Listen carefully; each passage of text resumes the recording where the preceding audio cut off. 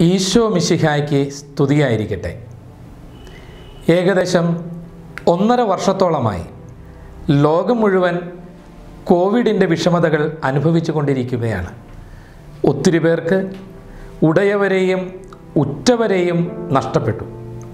പലർക്കും ജോലികൾ നഷ്ടപ്പെട്ടു. സാധാരണക്കാർ മുൻപെങ്ങുമില്ലാത്ത വിധത്തിൽ വിഷമത്തിലായി. ബിസിനസ്സുകൾ തകർന്നു. ഇനി മുന്നോട്ട് എങ്ങനെ ജീവിക്കുമെന്ന് ചിന്തിച്ച് ആകുലപ്പെടുന്നവരുടെ എണ്ണം ദിനം പ്രതി കൂടുന്നു. ഒരു തരത്തിലല്ലെങ്കിൽ മറ്റൊരു തരത്തിൽ കൊറോണയുടെ നൊമ്പരം പേറാൻ വിധിക്കപ്പെട്ടവരാണ് നാം എല്ലാവരും. ഇതിനിടയിൽ ഉത്തരവാദിത്വപ്പെട്ടവരുടെ നിഷ്ക്രിയത്വം നൽകിയ നൊമ്പരങ്ങൾ വേറെയും. മാനസികമായും ശാരീരികമായും നമ്മെ തളർത്തിക്കളയുന്ന ഈ സാഹചര്യത്തിലാണ് ഫ്രാൻസിസ് മാർപ്പാപ്പ യൗസപിതാവിന്റെ വർഷം പ്രഖ്യാപിച്ചതും എല്ലാവരോടും യൗസപിതാവിനോട് പ്രാർത്ഥിക്കാൻ ആവശ്യപ്പെട്ടതും. കൊറോണ കാലത്തിൽ എന്തുകൊണ്ട് യൗസപിതാവിന്റെ മധ്യസ്ഥം അപേക്ഷിക്കണമെന്നും ഈ കാലത്തെ അതിജീവിക്കാൻ യൗസപിതാവ് എന്തൊക്കെ ഉൾക്കാഴ്ചകൾ നമുക്ക് നൽകുന്നെന്നും ഇന്ന് നമുക്ക് വിചിന്തനം ചെയ്യാം.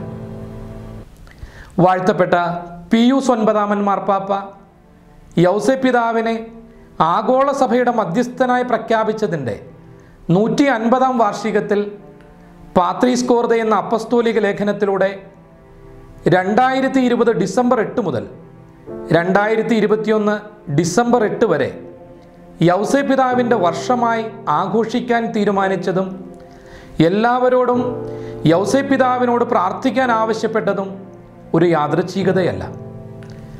ദുരന്ത സമാനമായ കൊറോണയുടെ ഈ സാഹചര്യത്തിൽ വിശുദ്ധ ഔസേപ്പിലേക്ക് തിരിയാൻ തിരുസഭ നമ്മോട് ആവശ്യപ്പെട്ടത് ഒരു ദൈവീക പദ്ധതിയുടെ ഭാഗമായിട്ടാണെന്ന് നാം മനസ്സിലാക്കണം.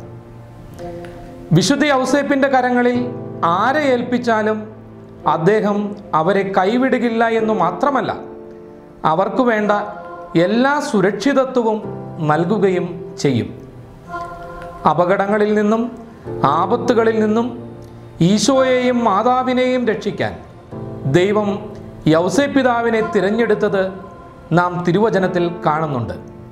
യൗസേപിതാവിന്റെ കരങ്ങളിൽ അവരുടെ ജീവിതം സുരക്ഷിതമായിരിക്കുമെന്ന് ദൈവത്തിന് അറിയാമായിരുന്നത് കൊണ്ടാണ് ദൈവം ഈ പ്രത്യേക ദൗത്യത്തിന് അദ്ദേഹത്തെ തിരഞ്ഞെടുത്തത്. ഈ ബോധ്യമാണ് കൊറോണ കാലഘട്ടത്തിൽ യൗസപിതാവിന്റെ മധ്യസ്ഥം അപേക്ഷിക്കാൻ തിരുസഭ നമ്മോട് ആവശ്യപ്പെടാൻ കാരണം.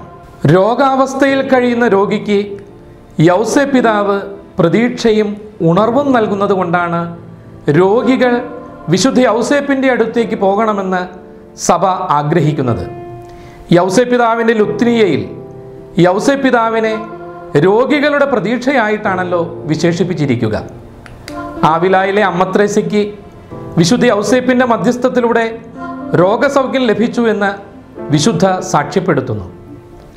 വിശുദ്ധ കൊച്ചുത്രേസ്യയുടെ അമ്മയായ വിശുദ്ധ സെലീമാത്തിൻ യൗസേപിതാവിനോട് നിരന്തരമായി പ്രാർത്ഥിച്ചതിന്റെ ഫലമായാണ് വളരെ ഗുരുതരമായ രോഗത്തിൽ നിന്നും ചെറുപ്പത്തിൽ വിശുദ്ധ കൊച്ചുത്രേസ്യ സൗഖ്യപ്പെട്ടത്.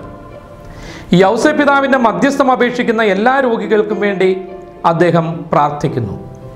ഈ കാലഘട്ടത്തിൽ കൊറോണയെ അതിജീവിക്കാൻ വിശുദ്ധ യൗസേപ്പിന്റെ മധ്യസ്ഥം എല്ലാവരും അപേക്ഷിക്കേണ്ടിയിരിക്കുന്നു. യൗസേപ്പിതാവിന്റെ കണ്ണുകളിലൂടെ ഈ കാലഘട്ടത്തെ നാം നോക്കിക്കാണുമ്പോൾ സഹനത്തിന്റെ പ്രാധാന്യത്തെക്കുറിച്ച് നമുക്ക് ബോധ്യപ്പെടും. ജീവിതത്തിൽ ഒരു വ്യക്തി കടന്നു പോകുവാൻ സാധ്യതയുള്ള സഹന വഴികളെല്ലാം യൗസപിതാവും താണ്ടിയതാണ്.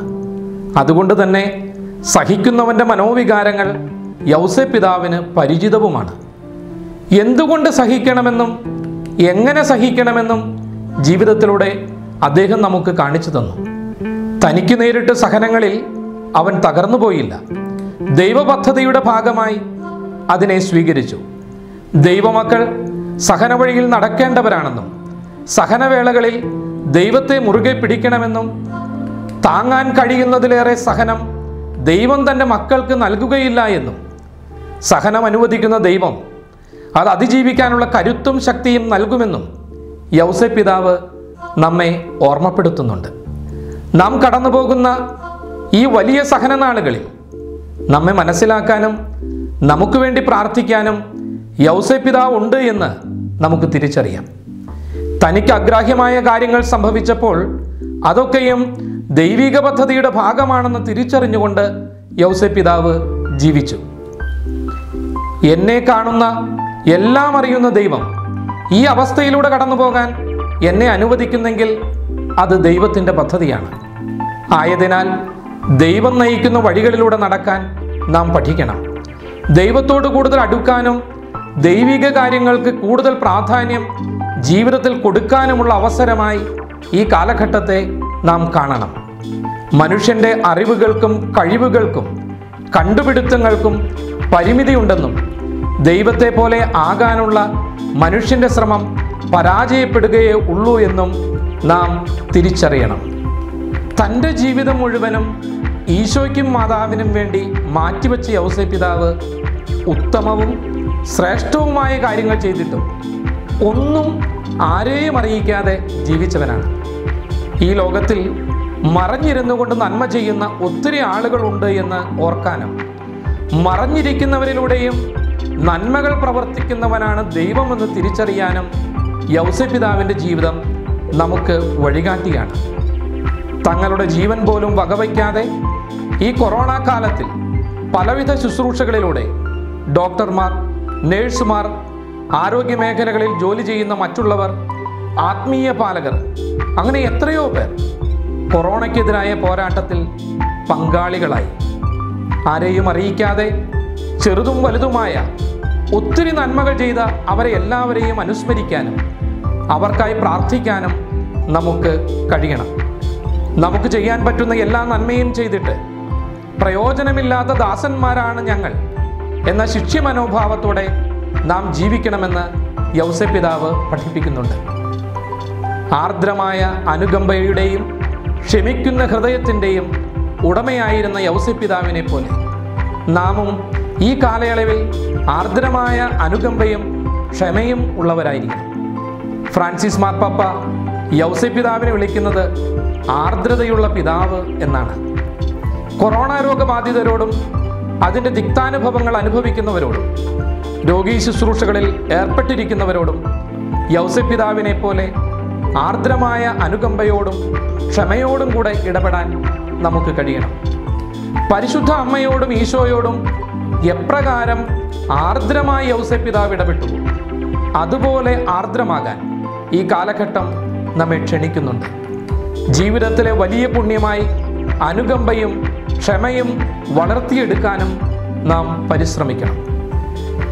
പരീക്ഷണങ്ങളിലും കഷ്ടതകളിലും സുരക്ഷിതമായ അഭയകേന്ദ്രമായ വിശുദ്ധ ഔസേപ്പിന്റെ പൈതൃക ആവരണത്തിന് കീഴിൽ ഉത്സാഹത്തോടെ വ്യാപരിക്കുക എന്നാണ് വിശുദ്ധ ജോസഫ് മറല്ലോ ഓർമ്മപ്പെടുത്തുന്നത്. ജെറമിയ പ്രവാചകന്റെ പുസ്തകം ഇരുപത്തി ഒൻപതാം അധ്യായം പതിനൊന്നാം തിരുവചനം. കർത്താവ് അരുളി ചെയ്യുന്നു നിങ്ങളെക്കുറിച്ചുള്ള പദ്ധതി എന്റെ മനസ്സിലുണ്ട്. നിങ്ങളുടെ നാശത്തിനല്ല ക്ഷേമത്തിനുള്ള പദ്ധതിയാണത്. നിങ്ങൾക്ക് ശുഭമായ ഭാവിയും പ്രത്യാശയും നൽകുന്ന പദ്ധതി. നമുക്ക് പ്രാർത്ഥിക്കാം.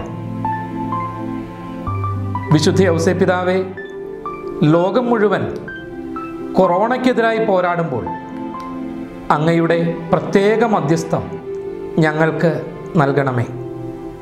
കൊറോണ കാലഘട്ടത്തിൽ സഹനങ്ങളിലൂടെ കടന്നുപോയ എല്ലാവർക്കും വേണ്ടി അങ്ങയുടെ മധ്യസ്ഥം ഞങ്ങൾ അപേക്ഷിക്കുന്നു.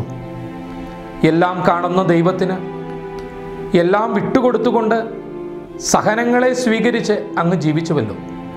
ഈ കാലഘട്ടത്തിൽ ദൈവത്തിൽ ആശ്രയിച്ചുകൊണ്ടും ഇതെല്ലാം ദൈവപദ്ധതിയുടെ ഭാഗമാണെന്ന് മനസ്സിലാക്കിക്കൊണ്ടും ജീവിക്കാനും ഞങ്ങൾക്ക് വേണ്ടി അങ്ങ് അപേക്ഷിക്കണമേ. ആമീൻ.